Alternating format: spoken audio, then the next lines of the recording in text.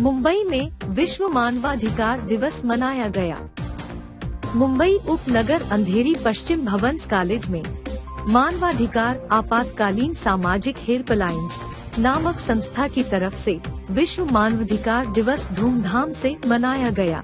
इस अवसर पर संस्था के संस्थापक दुर्गा प्रसाद तिवारी, राष्ट्रीय अध्यक्ष सुमित तिवारी, महाराष्ट्र प्रदेश अध्यक्ष डॉक्टर प्रमोद सिंह मुंबई प्रदेश अध्यक्ष वंश बहादुर जायसवाल महिला जिला अध्यक्षा श्रीमती लक्ष्मी कल्होत्रा जिला अध्यक्ष जलील अहमद के अलावा संस्था के कई पदाधिकारी और नागरिक उपस्थित थे।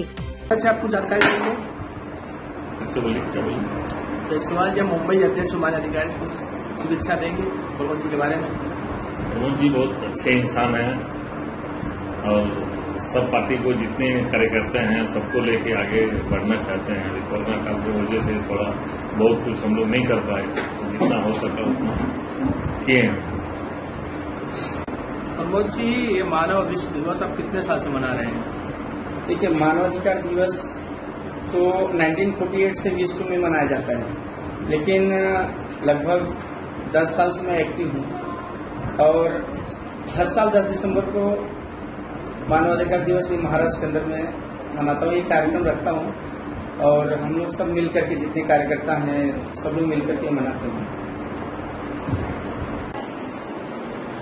सर, अभी जिस तरीके से आज का ये प्रोग्राम हम लोगों ने आयोजित किया, बहुत कम समय के अंदर सभी लोगों को हमने निमंत्रण भेजा और सबसे अच्छी बात यह है कि मानवाधिकार के खुद महाराष्ट्र प्रेसिडेंट हमारे प्रमोद साहब, हमारे जायसवाल साहब और हमारे वरिष्ठ जितने भी लोग हैं, ये सब आए। और जितने भी हमारे कार्यकर्ता हैं, ये सब आए। यानी इतने कम समय के अंदर यहाँ लोगों का उपस्थित होना इस बात की गवाही देता है कि मानवाधिकार आज भी पूरी तरीके से ज़िंदा है। और हम लोग इसको ज़िंदा रखने के लिए हर दम इसी तरीके से प्रमोद साहब के साथ मिलकर के चलते रहेंगे और इस मानवाधिकार को आगे बढ़ाते रहेंगे। यही हमारी सभी लोगों के साथ में शुभकामनाएँ और उम्मीद करते हैं कि लोग भी हमारा इसी तरीके से साथ देंगे। जय हिंद, जय महाराष्ट्र।